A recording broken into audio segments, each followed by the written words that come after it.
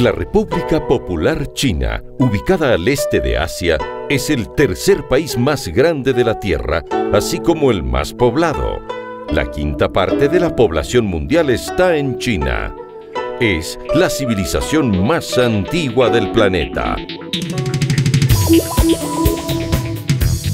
China tiene una de las hidrografías más caudalosas y extensas de la Tierra que ha sabido aprovechar hábilmente para producir electricidad renovable y energía hidroeléctrica.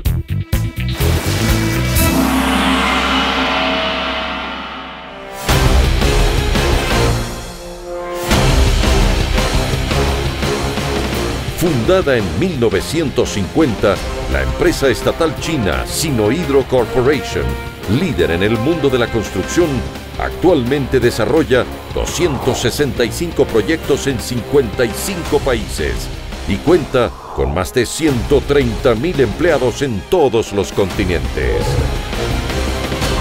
A nivel mundial, está catalogada como la primera compañía en construcción de centrales hidroeléctricas. Ha construido más de la mitad de las represas hidroeléctricas en China y ha participado en megaproyectos de escala mundial. Destaca la represa Las Tres Gargantas en el río Yangtze, el proyecto hidroeléctrico más grande del mundo. Existen cientos de proyectos hidroeléctricos de mediana y gran escala en varios continentes, con una capacidad hidroeléctrica instalada de más de 130.000 megavatios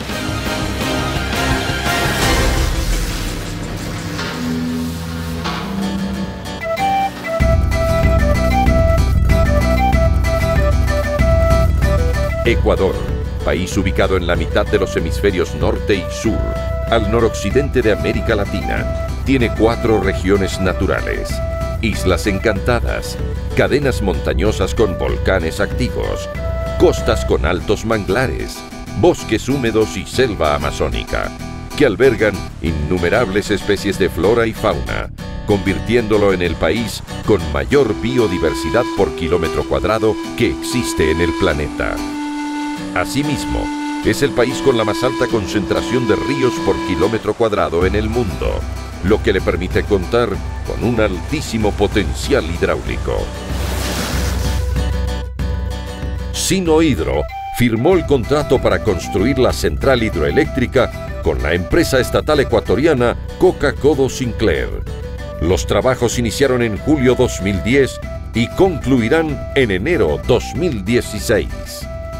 El proyecto Coca-Cola Sinclair es el proyecto más grande, la mayor inversión de la historia del país. En el 2016, 93% de nuestra energía eléctrica será hidráulica, energía limpia, renovable. Pero este proyecto que nos llena de esperanza, nos llena de orgullo de ser ecuatorianos, es un paso muy importante para el desarrollo. Indudablemente es el proyecto más importante eh, que se está construyendo en el país. El proyecto marcha muy bien, se están haciendo las obras con la calidad que rezan las especificaciones técnicas. El proyecto Coca-Codo Sinclair está ubicado en el cantón El Chaco de la provincia de Napo y en el cantón Gonzalo Pizarro de la provincia de Sucumbíos.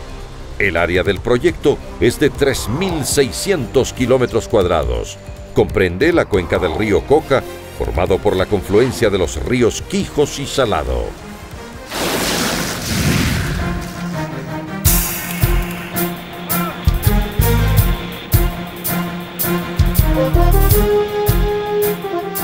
La central hidroeléctrica consta de las siguientes obras. La obra de captación.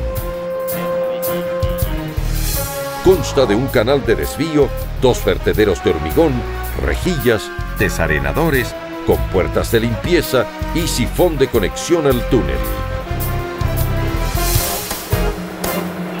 Las obras de conducción, constituidas por un túnel de 24.8 kilómetros de longitud y 9.5 metros de diámetro, totalmente revestido de hormigón. Para la construcción de esta imponente obra Sinohidro adquirió maquinaria pesada especializada, yumbos, perforadores de terreno para inyección de hormigón y dos tuneladoras TBM, maquinarias de extraordinarias proporciones que fueron importadas al país para cavar el túnel que conducirá el agua al interior de una montaña conformada por rocas de diferentes tipos. Además, se instalaron plantas de prefabricación de dovelas para el revestimiento del túnel, plantas de hormigón para la zona de conducción y fábricas de metal mecánica que solventan los materiales que exige la magnitud de la obra. La presa y el embalse compensador están en el lecho de la quebrada Granadillas. Se conforman por un túnel de desvío o desagüe de fondo, como presa de enrocado y capa de hormigón, vertedero de excesos y la estructura de toma para las dos tuberías de presión.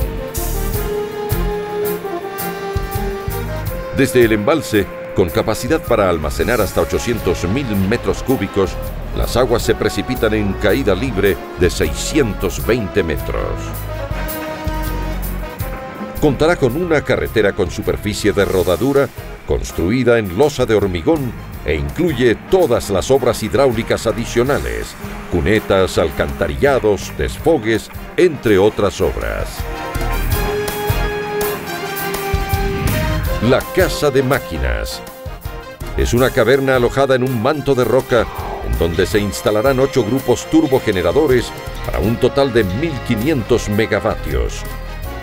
Se incluye el túnel principal de acceso a la central, una caverna de transformadores a realizarse junto a la casa de máquinas y que alojará a 25 transformadores monofásicos de 68.3 megavoltio amperios, un patio de maniobras y un edificio de control donde arrancarán las líneas de transmisión de 500 kilovatios.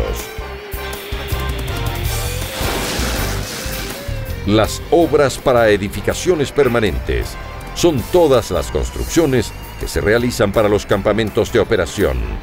Garitas, guardianía, oficinas, gasolinera, talleres mecánicos, bodegas, helipuerto, comedores, residencias para los técnicos y mano de obra no calificada, escuela, dispensarios médicos y área para recreación.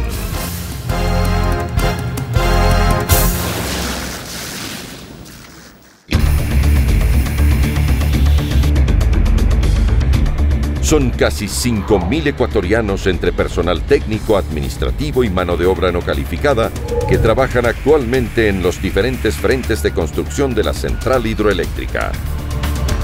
Esta gran obra ha generado además 15.000 puestos de trabajo indirectos, un hecho que repercute positivamente en la economía familiar y comunitaria. El 60% de trabajadores provienen de las provincias de Napo y Sucumbíos, el 20% de las demás provincias y el 20% restante son chinos. En el ámbito personal ha sido una grande oportunidad como mujer eh, estar aquí en esta empresa.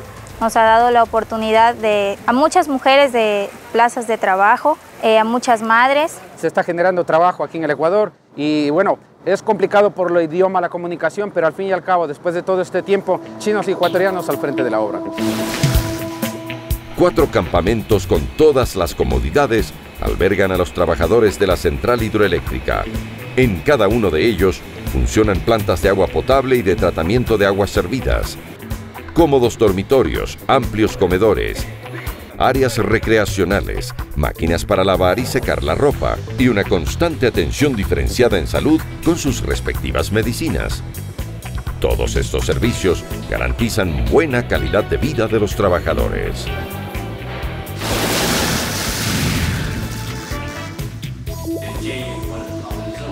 El compromiso de respeto a la naturaleza está vigente desde el inicio de la obra. El proyecto se realiza bajo lineamientos definidos en un plan de manejo ambiental, cuyo concepto es minimizar los impactos ambientales, por lo que las obras más importantes son subterráneas. Creemos que la presencia de la hidroeléctrica acá no solo va a contribuir al desarrollo nacional en, temas eh, económicos o, de generar energía limpia, sino también en el desarrollo local. La corporación Sino Hidro firmó convenios con el municipio de El Chaco por un monto de 300 mil dólares para la dotación de varias obras en beneficio de la comunidad de San Luis, ubicada junto al campamento de la empresa. Vía de acceso a San Luis. Instalación de tubería de 2 pulgadas para agua potable. Cerramiento. Recipientes para basura. Reparación y mantenimiento de los juegos infantiles Escuela 12 de Febrero batería sanitaria junto a la cancha de vóley, plan de manejo de desechos sólidos con proyecto de ampliación para toda la población. El impacto realmente de Sinohidros hacia la comunidad ha sido muy positiva. Nosotros hemos tenido crecimiento como por ejemplo gente que está trabajando entre hombres y mujeres. Nosotros estamos bastante contentos porque la gente sale a nuestra comunidad, sale a hacer sus compras y eso es un ingreso económico creo que bueno para nuestra gente.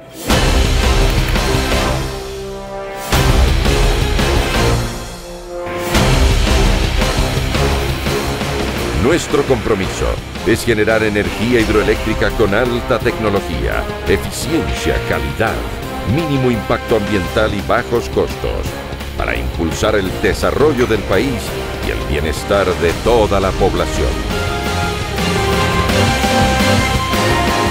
Sino Hidro, construimos futuros sustentables para un mundo mejor.